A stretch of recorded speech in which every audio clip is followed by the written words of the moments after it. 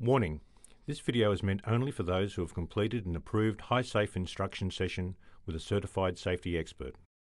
In this video, we're going to show you how to put on a high safe industrial harness. The first thing to do is locate the rear dorsal D. Once you've found this, put the harness on by holding open the shoulder straps. Holding the harness so you can visibly inspect the shoulder straps to check for any damage. Then simply put the harness on exactly the same way you'd put on a jacket, like so.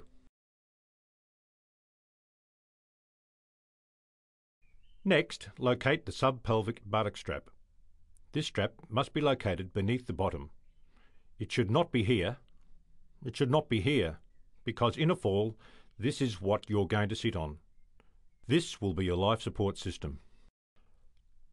If it is not in the correct position, use these two adjusters to adjust the harness up or down until you get it into the position you need it to be in.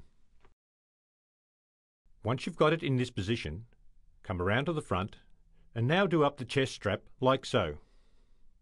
Chest straps have two functions. One is to make sure you don't fall out the front of the harness, and the second is to secure the location of the shoulder straps. The shoulder strap should be located midway between the edge of the shoulder and the edge of the neck in this position, here. If you're using your hand in this configuration, it doesn't matter, but if you put your hand down here, you'll find it will slip off your shoulder and become very irritating. To fix this, adjust the strap so that it does not fall off the shoulder. Next up is the leg straps. Reach from behind and do the leg strap up like so.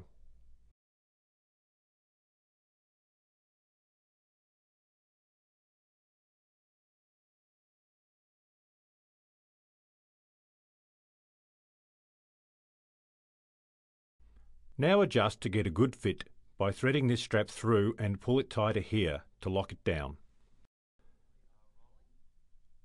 When you stand up, the harness should fit snugly around your body, but should not be so tight that you cannot fit your hands inside the straps. To test that you have the harness on properly, simply stand up and make sure that it touches, but does not pull on the rest of the body. All you have to do is lift your hands up and make sure that there is no pull on the neck, the groin or the buttocks.